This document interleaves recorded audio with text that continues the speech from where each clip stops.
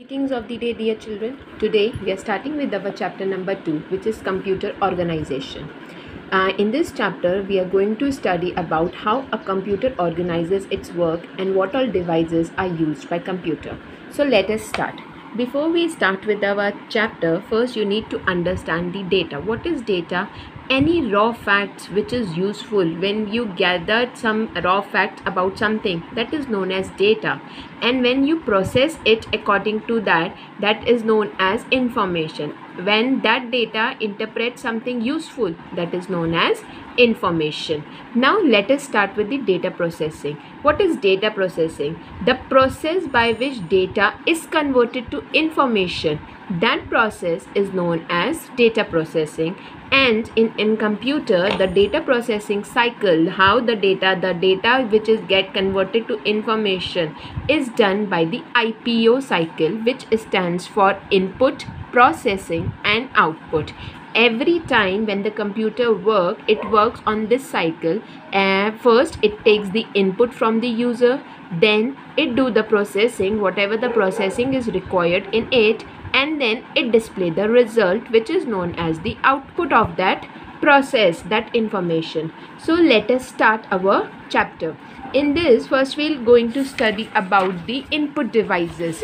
What are input devices input the devices which are used in computer for entering the data for inputting the data. Those devices are known as your input device. The name itself suggesting input. We are giving something inside so that is known as the input. So your first and foremost important input device is your keyboard the most common input device is keyboard which we use to enter the data into the computer. Whatever the data which we want to feed we uh, we feed it uh, with the help of keyboard. And the special type of keyboard which we are using nowadays it's QWERTY keyboard because why the name is we have kept it? If you can see in the alphabet keys the first five keys of the first row is in QWERTY form so this uh, standard keyboard is known as the uh, QWERTY keyboard. And uh, uh, next is your there are some more special keys in it. There are 104 keys uh, in a keyboard. And they uh, they get displayed with different different names. There are character keys means alphabet keys numeric keys editing keys function keys and so many other keys. And each and every key has its own function to perform then next is your mouse. Mouse is also known as a pointing device. It helps us to point or click an object on the screen. It uh, it moves with the help of a graphical arrow. The arrow which is displayed on the screen that is a mouse pointer. There are two types of mouse which we use. One is the mechanical mouse. This is a mechanical mouse in which a ball and roller is there. And uh, the uh, pointer goes up and down with the help of it. The second is an optical mouse which have a led light source sensor and it is also we can say wireless mouse which help uh, which work with the help of this led light source. So these are the two kinds of mouse which help us to point something on the screen. Next is the scanner. A scanner is a device which scan and store some documents in the computer. Whatever uh, there are different types of scanner. Let us study about them one is your flat, flatbed scanner in which we this is like a uh, flatbed scanner in which we keep the document on the glass bar and the computer read this glass bar and whatever the information we have kept on the glass bar it gets uh, printed it gets saved in our computer.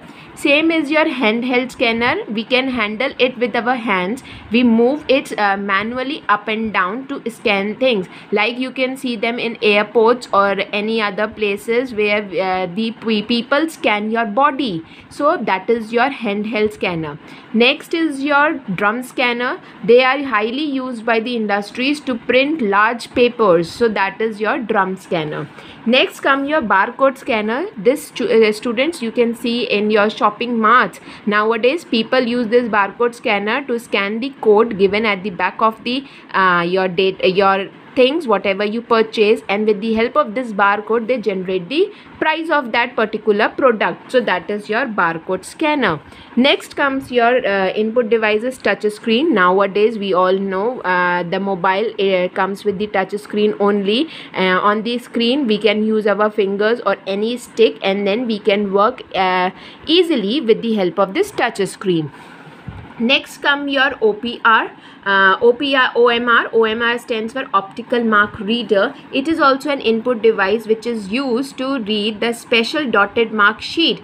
This sheet you might have seen during your uh, aptitude exams where you fill this uh, sheet with the help of some HB pencil and then what this device do it scan this uh, sheet and give the accurate result. So this is OMR then next is your OCR optical character reader. It is also a uh, what it does it scans it is a device which scans pages and text and then identify them with the dotted lines the text which are uh, hidden behind the dotted lines it get converted converted into proper text and letters and then it read it. So this is your OCR then comes to your MICR uh, it is a device which is mainly used in banking system.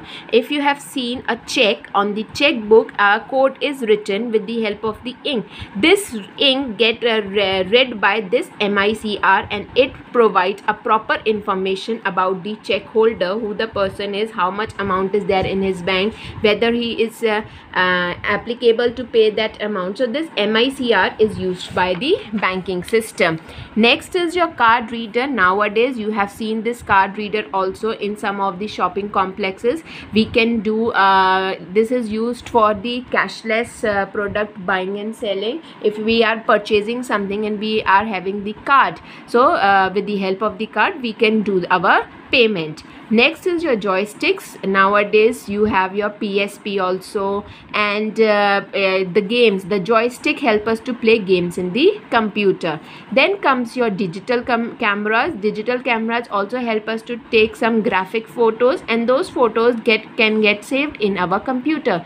So these are some uh, devices which are used for inputting the data into the computer. Hence they are known as the input device